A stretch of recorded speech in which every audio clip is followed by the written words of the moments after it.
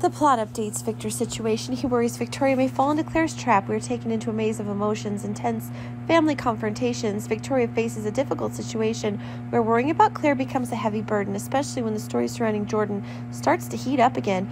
Victor Newman, with his usual assertiveness, asks Claire to send a text message to Jordan if there is any contact from her request that made Victoria feel uncomfortable.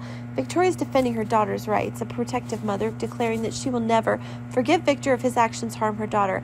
However, Victor once again asserted that Nikki Newman, his wife, is the top priority, not Claire.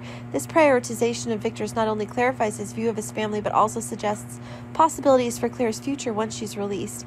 Claire's trying to connect her feelings with Victoria and Cole, always presenting herself as a strong woman. Not only did she impress Victoria with her mental strength, but she also proved that she's capable of overcoming all the suffering Jordan had caused.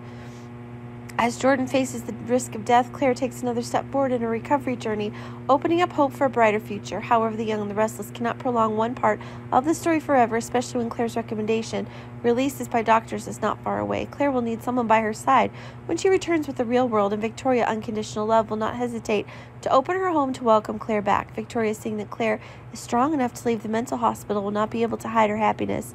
She began planning for her daughter's return. Not expecting that Victor might be the one to pose new challenges, Victor accepting Claire as part of his family is one thing, but doing this at the expense of his other loved ones is a completely different story.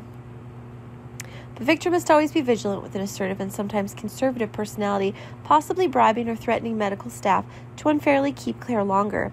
This action, while reflective of Victor's character, created a tense and challenging environment for Victoria and the Newman family. Victor, in an effort to protect Nikki from unnecessary worries, may ignore the doctor's opinions and decide that Claire's not ready for freedom. That it not only makes the relationship between him and Victoria more tense, but also puts Claire at the center of a major conflict within the Newman family. The audience can see the complexity of family relationships, the struggle between love and power, as well as the difficult decisions each character faces. The story is not only an emotional adventure, but is also a lesson in forgiveness, patience, and unconditional love. Please subscribe to Y&R channel to update on the latest news.